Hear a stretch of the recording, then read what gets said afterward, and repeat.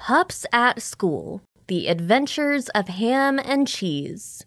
Written by Giselle Alonso. Narrated by Allie James.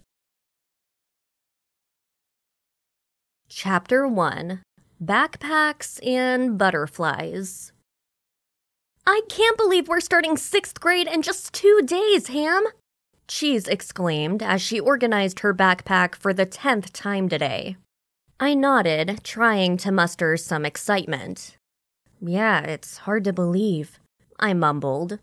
What I can't believe is that mom isn't going to homeschool us anymore. I'm really going to miss it. I sighed, feeling a mix of nerves and concern. Cheese looked up, her eyes shining with anticipation. Oh, Ham, you have to look on the bright side. Think about all the new things we're going to experience riding the bus, eating lunch with new friends, and even reading stories to the class. Her enthusiasm bubbled over as she jumped up and down, clutching her books to her chest. I see you're excited, Cheese, I said, giving her a small smile as I walked out of her room.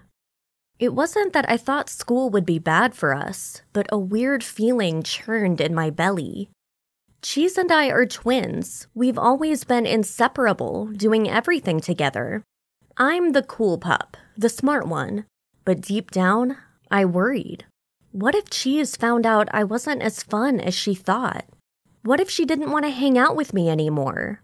With a heavy heart, I gave her one last glance before softly closing the door behind me.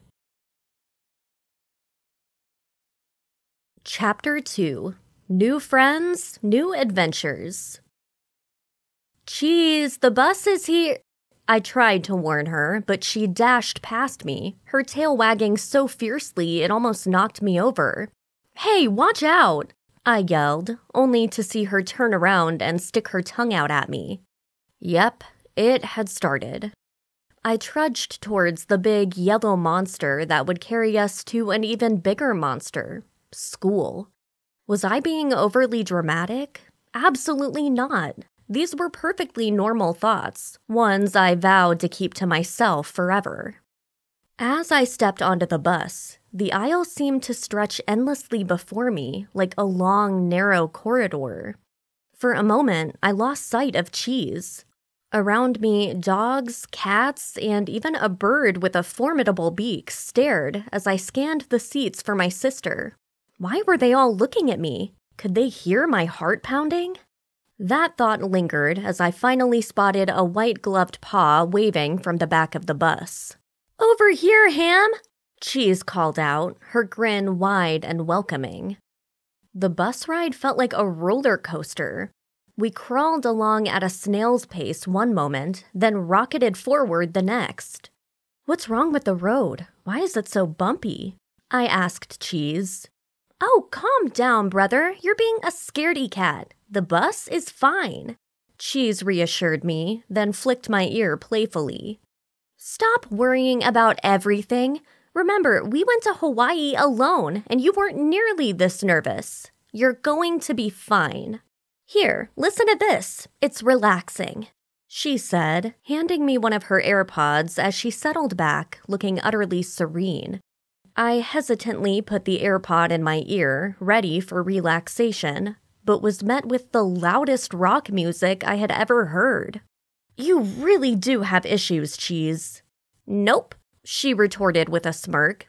I just have good taste. Try to relax. We're almost there. Chapter 3 When School's Not Cool. Wow, the school is big, I murmured, a bit awed as we approached the entrance. And so pretty, Cheese added, her eyes sparkling as she admired the large building. I had to admit, the school did look welcoming, and everyone around us seemed happy. Maybe this wouldn't be so bad after all. At that moment, I decided to be brave, like I always am, and give this school a chance. As Cheese and I picked up our class schedules, we realized we only had one class together.